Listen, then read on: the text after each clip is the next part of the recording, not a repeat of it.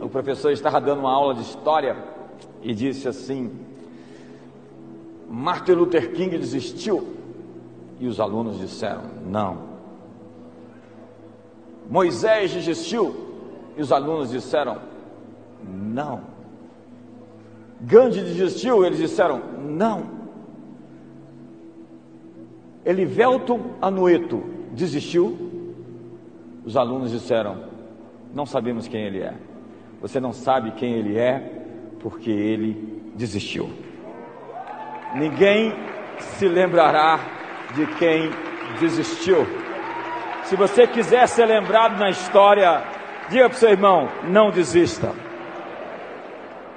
Mantenha a pegada. Não é como você começa, é como você termina não é simplesmente começar forte, é terminar forte.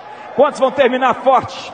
Quantos vão chegar em 2030 assim com os braços abertos, cruzando a linha de chegada? Vamos lá, tira uma foto do seu futuro enche o seu peito aí. Mostra a sua cara de leão, o seu rugido, a sua expressão de vibração de vitória. Vamos lá, você consegue ser mais expressivo.